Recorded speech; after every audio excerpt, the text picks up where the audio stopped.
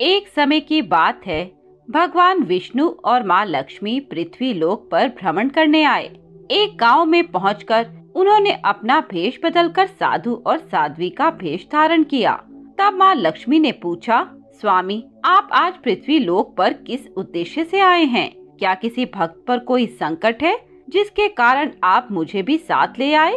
तब श्री हरि विष्णु ने मुस्कुरा कर कहा देवी, इस मृत्यु लोक में तो सब अपने कर्मों के अनुसार कष्ट भोगते हैं। मैं ये देखना चाहता हूँ कि इतने कष्ट सहने के बाद भी क्या ये पुण्य कमाते हैं? साथ ही भक्ति करते हैं या नहीं? सबसे पहले श्री हरि और माँ लक्ष्मी एक धनी सेठ के घर पहुँचे। वहाँ पहुँच उन्होंने सेठ जी को आवाज़ दी। उनकी आवाज़ सुनकर सेठ जी बाहर आए। उनसे भगवान विष्णु ने कहा, सेठ जी आप पर तो माँ लक्ष्मी की बहुत कृपा है, फिर भी आप बहुत परेशान हैं। इसका क्या कारण है? सेठ जी उन्हें देखकर रोने लगे और कहा, साधु बाबा, मेरे कष्ट का कारण यह धन ही है, जिसे आप लक्ष्मी जी की कृपा कह रहे हैं। मेरा सारा धन मेरे बेटों ने समेट लिया और वह घर छोड़कर चले गए। अब इस घर में मैं और मेरी पत्नी रहते हैं।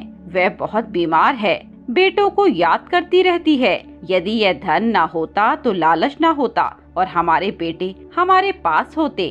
ये सुनकर भगवान विष्णु ने कहा, सेठ जी, आपके कष्ट का कारण धन नहीं, आपके कर्म हैं। आपने धन गरीबों पर अत्याचार करके कमाया और उससे अपने बच्चों का पालन पोषण किया। इसी कारण वह धन को अपना पिता मान बैठे। ये कहकर दोनों आगे चल देते हैं। आगे जाने पर उन्हें एक किसान मिलता है, जो अपने मरे हुए बैल के पास बैठकर रो रहा था। माँ लक्ष्मी ने उससे पूछा, भाई, तुम रो क्यों रहे हो? यह बैल कैसे मर गया? किसान ने कहा, धन के लालच के कारण मेरा बैल मर गया। ज़्यादा धन कमाने की इच्छा के कारण मैं इससे दिन में खेतों में काम करवाता था और रात में कोल्हू में लगा देता। इससे मैं बहुत धन कमाता था, लेकिन कल से मुझे भूखे मरना पड़ेगा। अगर संसार में धन न होता, न मुझे लालच आता और न मेरा बैल मरता। तब लक्ष्मी जी ने कहा, स्वामी, ये क्या माया है? मैं तो सोच रही थी, इस संसार में धन और वैभव के कारण सब मेरी पूजा करेंगे, लेकिन यह तो धन से ही परेशान हैं। तब श्री हरि ने कहा, ऐसा नहीं है देवी, यह सब कर्मों का फल है। यह बैल एक साहूकार था, जो लोगों को पैसा उधार देकर अपना गुलाम बना लेता था। और उनसे दिन रात काम करवाता था। उसी को चुकाने के लिए इस जन्म में ये बैल बना और आज इसका कर्ज उतर गया। तब लक्ष्मी जी ने कहा, किंतु स्वामी, इस सब के पीछे धन ही बड़ी वजह है। ये सुनकर श्री हरि विष्णु ने कहा, आगे चलते हैं। आगे कुछ दूर जाने पर उन्हें एक झोपड़ी दिखाई दी, जिसके बाहर एक दीपक जल रहा था।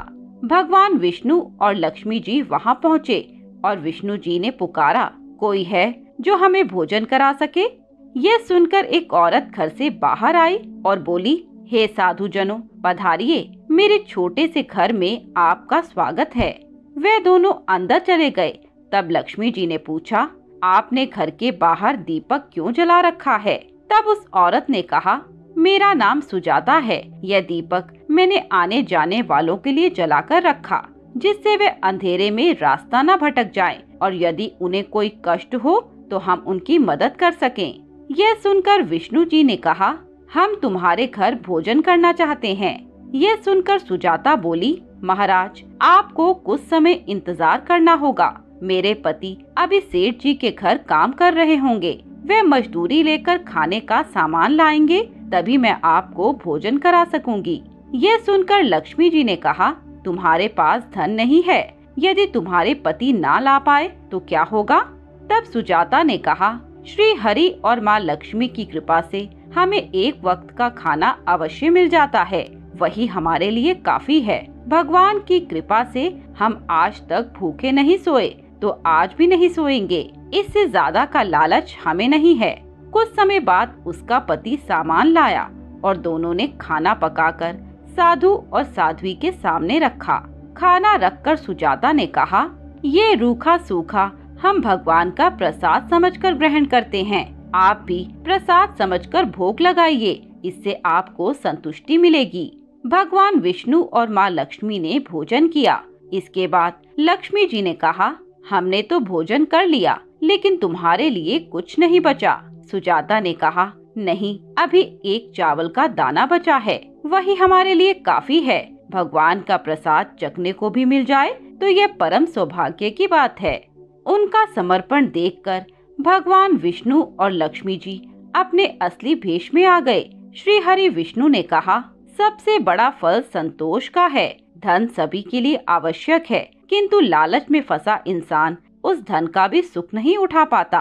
तुम दोनों ने आज खुद भूखे रहकर हमें भोजन कराया। आज से इस घर में अन्न धन के भंडार भरे रहेंगे। दोनों पति पत्नी उनके चरणों में गिर गए और बोले, भगवान, यदि कुछ देना है तो अपनी भक्ति दे दो। भगवान विष्णु और माँ लक्ष्मी ने उन्हें आशीर्वाद दिया और वे अंतर ध्यान हो गए। उस दिन से वे दोनों भजन और सत्संग में अपना सारा समय बिताने लगे। मित्रों, आपको ये कहानी कैसी लगी? हमें कमेंट बॉक्स में बताएँ। साथ ही ऐसी नई नई कहानियों के लिए हमारे चैनल कथा अमृत को सब्सक्राइब करें।